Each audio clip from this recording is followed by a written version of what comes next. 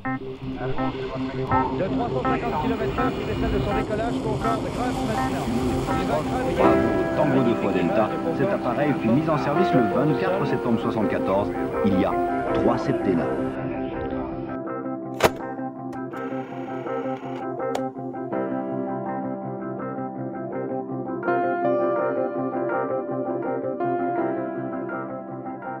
Après des études d'électronique, je suis entré à Air France comme euh, professeur d'électricité au centre d'instruction de Villegénis. Euh, ensuite, j'ai passé les certificats, euh, le A, le B1 et donc la théorie mécanicien navigant. J'ai passé le concours pour la promotion interne. Donc en 74, je suis parti en stage. Il y a eu les problèmes du, carburant, de la guerre du Golfe, le, pétrole, donc tout ça, cette période-là un petit peu euh, plus tranquille. Donc les, embauches ont été reportées et j'ai été lâché en 78 sur Fokker 27 à la postale. Et ensuite, après 10 ans de postale, je suis parti sur 747. Et voilà, j'ai terminé ma carrière comme euh, chef OMN euh, et en 2005.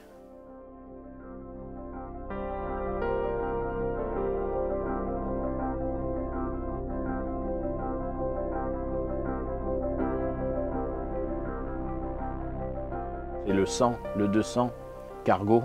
Bien évidemment, je n'ai pas fait de 400 puisqu'il n'y avait pas d'officier mécanicien navigant dans le poste. Donc euh, le 100, le 200, le 300. Dans le 300 et lui en version passager euh, totalement. Le 100 et le 200, il y avait des versions, il y avait trois versions par avion passager, tout passager, combi, passager et une partie fret ou tout cargo. La version euh, 100-200, c'est simplement les, enfin, ce sont simplement, c'est facile. euh, Ce sont les moteurs qui, qui différenciaient les, les deux versions.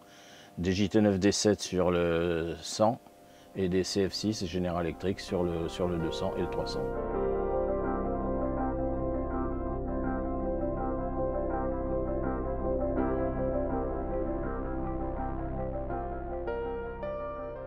Il faut avouer qu'il est arrivé euh, dans les années 70, de par sa- son volume, sa capacité d'emport.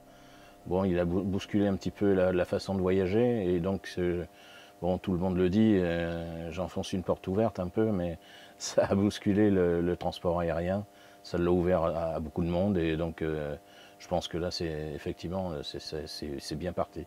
Et c'est vrai, vrai que euh, les collègues pilotes le trouvent très facile, souple à piloter. Il n'est pas dur, il, est, il, vole très bien.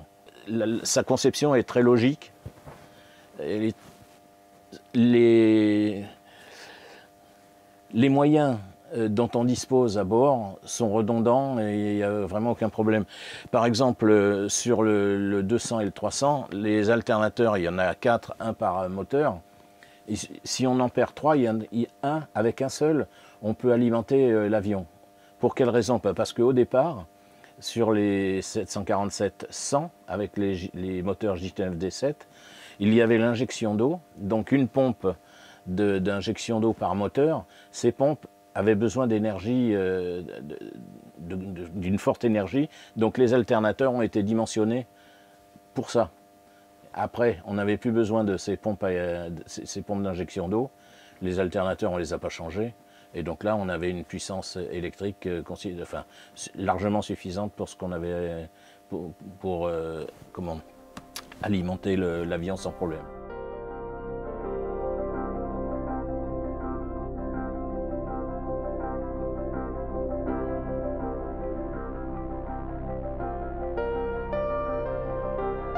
Ah oui, oui, c'était, un, je dirais, le, summum parce que là, le rôle du mécanicien navigant était vraiment très important parce que le Concorde a beaucoup de réservoirs et en, croisière, le mécanicien navigant jouait avec, le, carburant pour euh, centrer l'avion, pour que le centre de gravité de l'avion soit toujours bien placé pour que l'avion euh, bah, puisse voler tranquillement et atteindre les Mach 2, les, voilà, qu'il soit toujours euh, très très stable, euh, pas trop, le centre de gravité pas trop devant, pas trop arrière, bien. Donc là, il y avait quand même, effectivement, beaucoup de travail. L'officier mécanicien navigant a une responsabilité mécanique, bien évidemment, c'est son, rôle, mais il participe totalement à l'utilisation de l'avion, au vol, à la gestion du carburant, quand on prépare le vol avec les, pilotes, on, a euh, un RCT, les, recueils euh, complémentaires techniques, et on sait, euh, nous, l'avion, quelle, maladie, quel petit défaut il peut avoir. Ils n'en ont pas tous, bien évidemment, et pas toujours. Mais s'il y a une petite, petite faille, un petit défaut, une petite panne, on en a connaissance, on, on voit tout de suite l'importance, euh, par exemple, si euh, il y a une réverse qui ne fonctionne pas sur un, sur un moteur, ben on, va, euh, quand on va préparer le vol avec les, pilotes, on va dire attention, la réverse là, elle ne fonctionne pas, les distances d'atterrissage vont être un petit peu allongées, donc attention. Si toutefois il y a des groupes de conditionnement d'air qui ne fonctionnent pas, sur avion cargo, il n'y en a que deux, sur les avions passagers, il y en a trois parce que bah, forcément sur les cargos, il n'y a, a, pas de passagers, il n'y a que l'équipage technique. Sur les avions passagers, il en faut un peu plus pour climatiser, conditionner toute la cabine. Si un groupe de conditionnement d'air ne fonctionne pas, là ça ne va pas être pareil parce qu'il va falloir faire attention. On ne pourra, on pourra pas aller euh, trop haut, trop, trop loin, il faudra, faire attention. Et à chaque fois, quand on prépare le vol avec nos collègues pilotes, on regarde la, météo du terrain de départ, la météo sur la route, la météo du terrain d'arrivée. On, décide de la quantité de carburant à embarquer. Le commandant de bord nous indique quelle quantité de carburant il souhaite. On valide et puis euh, on va faire le, plein, on va faire l'après-vol et le plein carburant. Et aussi sur avion cargo euh, ou passagers aussi, on fait très attention au chargement, au fret. S'il y a des marchandises dangereuses, euh, du radioactif, euh, des, peintures, du toxique ou du corrosif. Et là, on doit faire attention à ça encore un peu plus. Sur avion cargo, sur, oui, sur avion cargo, on va vérifier nous-mêmes l'arrimage des palettes au pont principal l'arrimage de cette palette, la, constitution de la palette, voir si tout, euh, tout, va bien. On est responsable du matériel de sécurité, incendie, euh, au pont principal. Sur avion euh, passager, c'est délégué au PNC, parce que 525 places, on n'a pas le temps de tout faire. Donc c'est eux qui, gèrent ça, qui voient si les extincteurs, les, mégaphones, les, haches, les, les, gilets de sauvetage, tout est en place. Ils nous rendent compte, nous on rend compte au commandant de bord. Voilà. Ensuite, oui, au niveau carburant, ben en fonction du carburant restant dans l'avion et ce qu'on doit ajouter, on donne la quantité, donc là c'est le nombre de litres à couler au pétrolier, et après, on vérifie si on a, on a ce qu'il faut. Le, mécanicien navigant, euh, il, apporte un petit plus euh, à l'utilisation de l'avion, à savoir que on, connaît vraiment notre avion, techniquement. Euh, on sait, par exemple, que sur, sur un volantille, il y a toute une zone de l'avion, donc une, une 50-60 sièges, qui était privée de son forcément, 8 heures de vol sans musique, sans, sans regarder le cinéma et autres, c'est quand même pas très commercial. Donc, euh, euh, je suis descendu. Euh, ayant connaissance de la constitution du, circuit, je suis allé là où il fallait pour, sous un siège, retitiller un petit peu des prises qui étaient un petit peu déstabilisées. J'ai remis ça en place. Les, les, les 50-60 sièges ont récupéré le, son et la vidéo.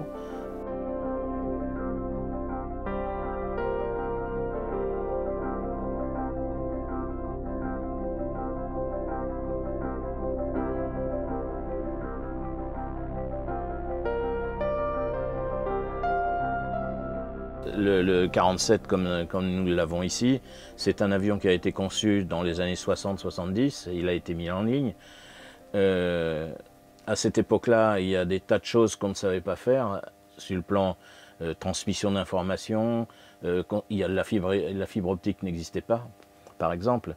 Donc euh, le, le 747-400 qui est arrivé ensuite, lui, il a bénéficié de toutes ces avancées technologiques. Donc il y a des tas de, tas d'informations qui sont ici sur le panneau mécanicien, qui ont pu être transformées, transposées en informations euh, informatiques. Ça a été ensuite géré bah, par un, petit ordinateur. Hein. Les pilotes avaient les informations, eux, sur euh, soit les écrans, soit la, commande au pont supérieur, au panneau supérieur. Et donc, euh, voilà, et ça, a été, si vous voulez, la technologie euh, de, transmission d'informations au sein de, dans l'avion lui-même euh, a modifié effectivement la, conception. Et on les voit maintenant, tous les avions sont avec des écrans cathodiques. Voilà, ça, a, été une évolution très rapide. Ça a commencé, je dirais, dans les années 80, à peu près, 80, 85. Euh, aux années ensuite, euh, euh, oui, il y, a eu, le 737, l'avion, le Boeing 737, qui était en équipage à deux. Alors ensuite, si vous voulez, les, dans la flotte Air France, il y a eu bien sûr le changement, la rénovation de la flotte, mais par des Airbus. Airbus qui était avec l'Airbus A300 qui était lui en équipage A3, mais après il y a eu le 310, le 320 qui sont arrivés, eux c'était en équipage A2, forcément puisque la conception du cockpit était différente. Et euh, grâce à, cette évolution technologique, et euh, à partir de là, il y avait des officiers mécaniciens navigants à la compagnie. Bon, mais euh, on en fait quoi? Donc euh, au fur et à mesure, euh, il y a eu bon, les départs en retraite, bien évidemment, mais il y a eu aussi pour les plus jeunes des, conversions pilotes. Il y en a eu à peu près un peu plus de 600 qui ont été euh, convertis en pilotes, bon, qui sont passés pilotes et ensuite pour certains commandants de bord. Et, ensuite, bah, le reste est parti à, terminer l'exploitation du 747. le, le, dernier vol d'un 747 avion passager c'était en septembre 2006. Et le dernier vol d'un cargo, c'était en avril 2008, de mémoire. Et après, effectivement, il n'y avait plus d'avions euh, en équipage A3 à la compagnie, ni en France d'ailleurs, donc ça s'est estompé et la, profession a disparu. il y a toujours une, petite version euh, OMN à la sécurité civile et dans l'armée de l'air. C'est un petit peu différent. Mais voilà, il n'y a, plus que là. Mais il y a aussi une, évolution qui a été euh, mise en place sur les derniers 747 utilisés à Air France, à savoir les centrales à inertie ont été remplacées par des FMS, c'est-à-dire qu'on est passé d'une euh, navigation coordonnée géographique à des points GPS. Pourquoi? Bah Parce que là, nous, avec nos centrales à inertie, c'était des points géographiques, donc euh, nord-sud, est-ouest, voilà avec la précision que ça avait. Et on, se, euh, on cohabitait pendant les zones d'arrivée ou de départ des aéroports avec d'autres avions plus récents qui, eux, naviguaient avec des, une navigation GPS plus précise que nous. Donc il a fallu, si on voulait continuer à utiliser notre avion, qu'on modifie ces possibilités de navigation. Donc ils ont été modifiés. Des FMS ont été installés dans, ces avions à la place des centrales d'inertie et on a pu continuer à les utiliser grâce à ce système-là. Ça a été une évolution aussi dans le bon, de la carrière et, de, la machine. Donc là, sur le panneau mécanicien navigant, euh, il y a des pôles particuliers. ici, toute cette euh, ligne ici, ce sont les alimentations électriques extérieures Ici, quatre colonnes, quatre moteurs identiques, ce sont les alternateurs qui donnent l'alimentation électrique du bord. En dessous, les, indications de hum, pression, température d'huile, quantité d'huile pour chaque moteur. Et là, ici, on arrive au gros morceau, c'est le panneau carburant. avec les sept réservoirs qui vont bien, qui permettent d'alimenter chaque moteur. On peut, par ces robinets d'intercommunication, alimenter un ou plusieurs réservoirs par un, deux ou trois ou quatre réservoirs. Hein. en cas de panne, euh, pour les, équilibrages carburant également. Tout dépend de la quantité de carburant euh, à bord qu'on embarque. Il faut qu'il ait l'égalité entre l'aile droite et l'aile gauche pour la stabilité. Ensuite, le réglage de la pressurisation.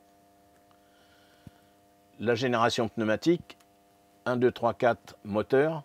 Sur chaque moteur, un prélèvement pneumatique qui alimente un collecteur de soutirage.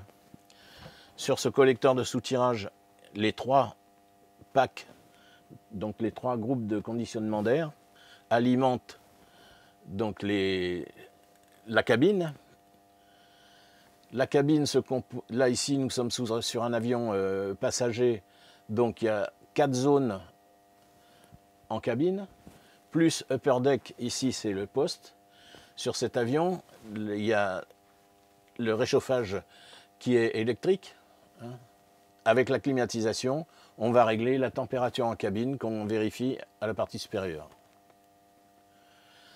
Ensuite, un petit peu sur la droite, les indications d'alarme feu en soute, les températures nacelles, donc les températures moteur, hein, du compartiment moteur lui-même. Ensuite, on descend sur l'hydraulique. Pareil, on a quatre colonnes à nouveau, puisqu'il y a quatre moteurs, avec sur chaque moteur une pompe mécanique entraînée par le moteur, une pompe pneumatique qui sera alimentée par le collecteur de soutirage. donc en cas de panne du moteur, on ne perd pas le circuit hydraulique, c'est l'air pompe qui prend le relais et qui continue à alimenter le, le circuit hydraulique et ensuite des voyants d'antipatinage, les voyants de signalisation de train, les températures des freins. Et au fond, le, le weight and balance et le, système de, jauge de contrainte qui se trouve sur les, sur les trains, qui nous permettent de vérifier le poids et le centrage de l'avion au, au, bloc, donc euh, au parking. Et on regarde, on fait la comparaison systématiquement avec le devis de poids qui nous est adressé, voir si c'est dans les tolérances, si on est bien ou pas bien, enfin, si ça correspond, au, si c'est à peu près les mêmes valeurs. Ensuite,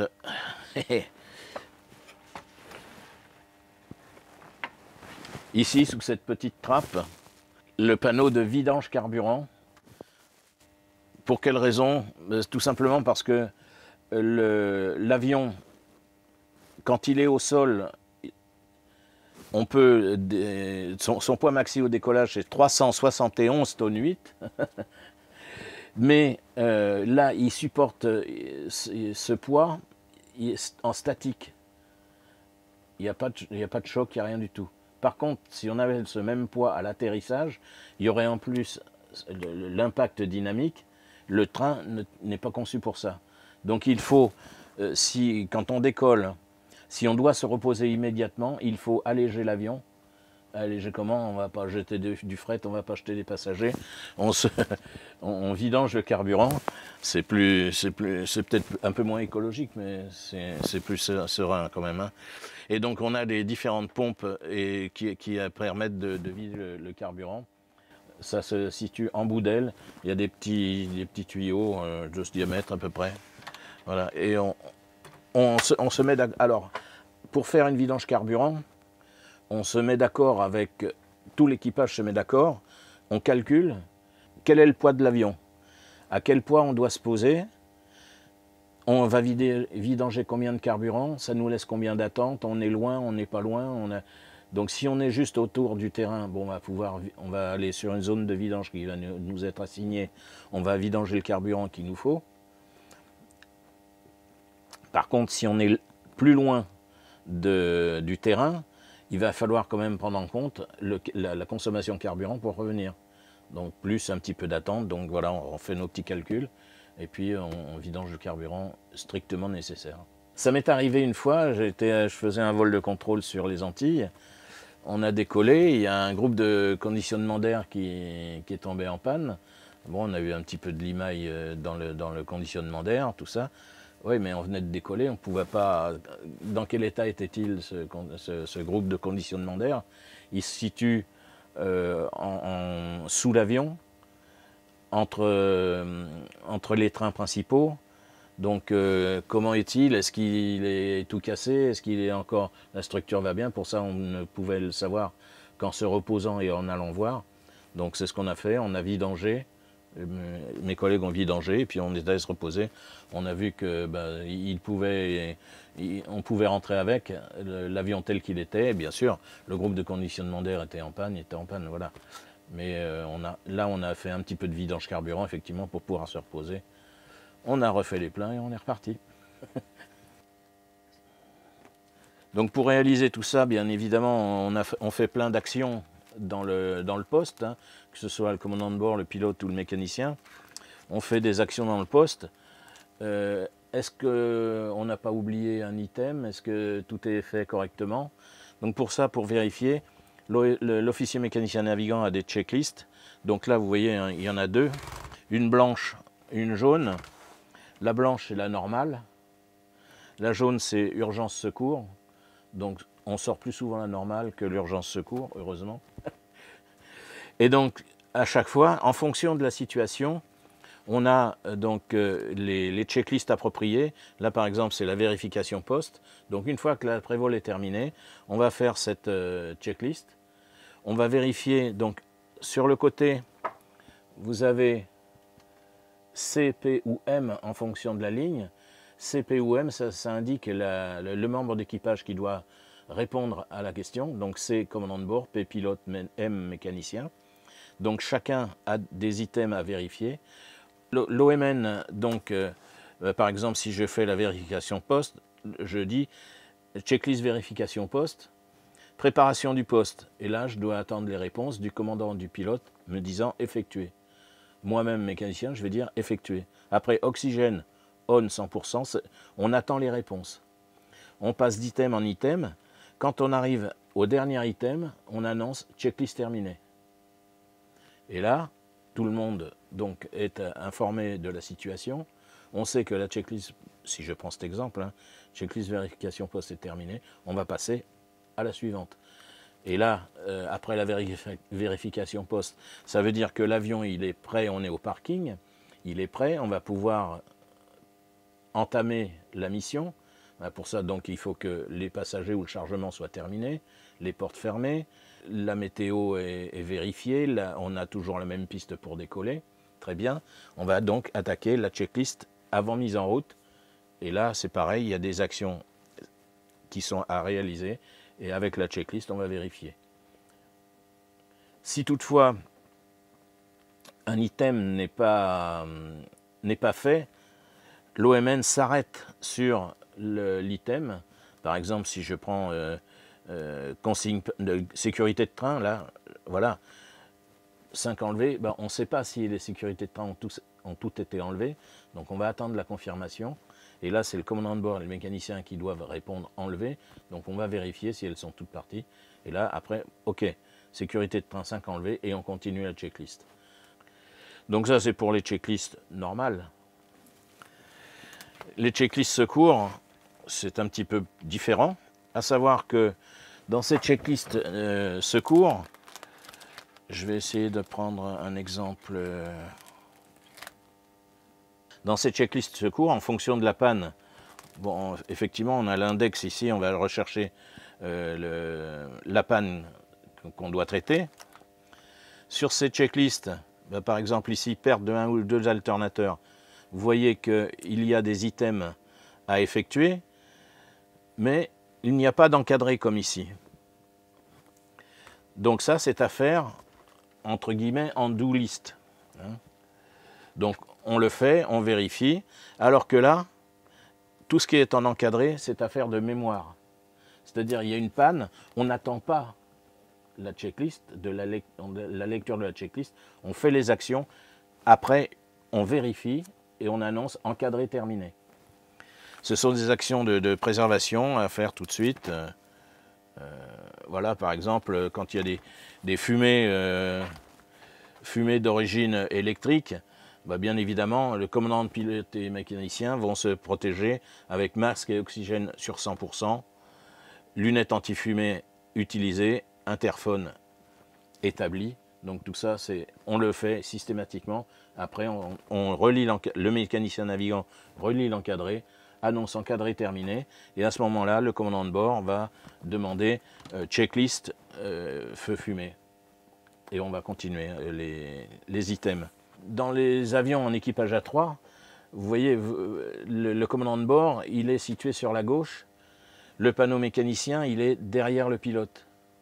Ben, parce que comme ça, le, commandant de bord n'a qu'à faire tourner la tête vers la droite, il a vu sur le panneau mécanicien, et comme ça, il peut voir les actions que, font les, mécaniciens et les valider ou non. Et quand on fait par exemple des transferts carburant ou des équilibrages carburant, on annonce systématiquement j'équilibre le, carburant, le 1, le 4, le, commandant de bord se tourne, regarde si on ne fait pas de bêtises et puis il valide ou non.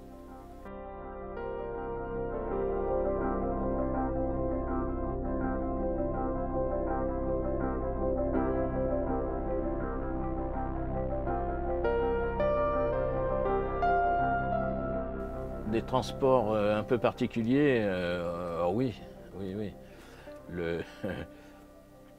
Euh, des satellites, des chevaux, des objets de valeur, des tableaux, et aussi quand on, est passé à l'euro, une petite, une belle palette de billets au milieu du cargo, il n'y avait que ça. Mais on était serein, très bien accompagné par le GIGN. Non, c'était. Euh, c'est curieux d'ailleurs, c'est la première fois qu'on était aussi bien accueillis sur la piste. Euh. On était euh, escortés. c'était sympa, c'était une expérience particulière. Là, le, le, transfert de, des, euros aux Antilles, il n'y avait que ça dans l'avion. Alors que les autres expériences sont des, chevaux, des, voitures de course, des tableaux, euh, c'est euh, en même temps qu'un autre, autre chargement. Il n'y a pas que, ça. L'avion, il est, il est rempli. Bon, il y a eu aussi des, des, hum, hélicoptères, des, hum, de la tuyauterie, du matériel pour des puits de pétrole. Alors l'avantage du 747 Cargo, c'est que le nez se lève et on a toute la longueur du fuselage pour charger. Donc on peut emmener des charges longues. Au niveau prévol, bon, on est prévenu, on va avoir tel ou tel chargement particulier. Donc en fonction de ce chargement, on va avoir une attitude différente, suivant si c'est euh, du vivant, donc des animaux ou autres, si, euh, si ce sont des, objets de valeur et autres, bon là souvent il y a un accompagnateur, donc là aussi il faut euh, le, briefer, lui, indiquer les, manœuvres de secours, à savoir que là l'officier mécanicien sur un cargo, il n'y a pas de, PNC, de, de stew ou d'hôtesse, donc c'est l'officier mécanicien qui est responsable de la sécurité du passager qui est là ou des passagers, donc on leur apprend à utiliser le, harnais pour pouvoir s'échapper par la trappe du, cockpit. Donc euh, ça ou le, le, toboggan de la porte supérieure, du, oui, la porte du, pont sup. Et après, effectivement, euh, en fonction du, matériel qu'on transporte, si, ce sont des marchandises dangereuses, du, corrosif, du radioactif, Bon, il y a des précautions particulières à prendre. On ne met pas du radioactif n'importe où, on ne met pas du magnétique euh, n'importe où non plus dans l'avion. Donc il faut vérifier que ces, ces matières soient bien au bon endroit, arrimées correctement. Si on a des, hum, du liquide corrosif, ou euh, de, ben, vérifier bien évidemment euh, que les, hum, le matériel de, de traitement d'une fuite éventuelle est bien à bord. Ça, ça fait partie du, de la checklist sécurité euh, avant, avant la mise en route. Hein. Donc c'est pendant l'après-vol. La mission la plus emblématique de cet avion. Ah, je sais pas, je sais pas dire parce qu'il en a fait tellement. Euh, non, c'était un avion qui, était superbe, euh, euh facile à manier, il était logique, logique à, utiliser, il n'y avait pas de souci. Bon, Boeing, Boeing est passé au, je dirais comme tous les constructeurs aéronautiques, est passé euh, bah, au, au, 400 avec bon, toute l'informatique, tout ça. Voilà, donc si vous voulez celui-ci, c'est un des derniers avions avec euh, des, instruments euh, analogiques. Il n'y a, pas de digital pratiquement, hormis, comme je vous, disais juste à l'instant, les FMS. Il y avait donc en bas, sur le panneau euh, commandant de bord et pilote, un petit écran euh, cathodique pour euh, effectivement indiquer à la place du HSI le, la situation de l'avion et puis la, trajectoire. Mais sinon, voilà, ce sont des, instruments euh, analogiques, pas digitaux. C'est peut-être euh, voilà, le, le, petit dernier clin d'œil sur euh, l'aviation ancienne. Mais c'est euh, maintenant, j'avoue que bon, nous sommes au musée de l'air, je crois. Donc je parle peut-être comme un, bon, un membre du musée. Mais c'est vrai que au niveau de la, de la, du souvenir qu'on qu peut, peut avoir de cet avion, c'est qu'effectivement, bon, il a révolutionné le transport aérien. Et puis, il a terminé sa carrière. Euh, bon, euh, il a terminé sa carrière parce qu'il a été battu par les, les, les nouvelles technologies, les moteurs, par exemple les, nouveaux moteurs. Nous, il nous ça fallait 4 moteurs et ça consommait 10 tonnes à l'heure. Maintenant, vous prenez un 767 ou un 787, il n'a que deux moteurs. Il transporte, euh, il va plus loin en consommant 25% de carburant en moins. Donc toute cette évolution aussi euh, a fait que voilà, l'avion était un petit peu dépassé. Et ça, c'est normal. On, fon on fonctionnait en, équipage, en groupe. C'était vraiment euh, très très très chouette. On partait à 3 ou à 15 euh, sur, des, rotations de, de 2 jours, 3 jours, ouais 3 jours plutôt, ou des rotations de, de 12 jours. C'était bon pour la, famille, c'est 3 jours c'est bien, 12 jours c'est beaucoup moins bien. Euh, mais bon, ça permettait là sur le sur cet avion pour aller par exemple à Tokyo, euh, il nous fallait faire euh, deux, deux, étapes. Maintenant, on y va direct. Euh, la Réunion, par exemple, au début, avec les 747-100, on était obligé de s'arrêter soit à Djibouti en descendant ou à Nairobi en montant, parce qu'on n'avait pas la capacité carburant pour aller jusqu'au bout.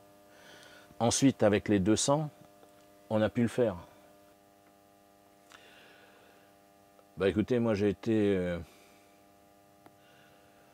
euh, ravi de faire cette, euh, cette profession. C'était.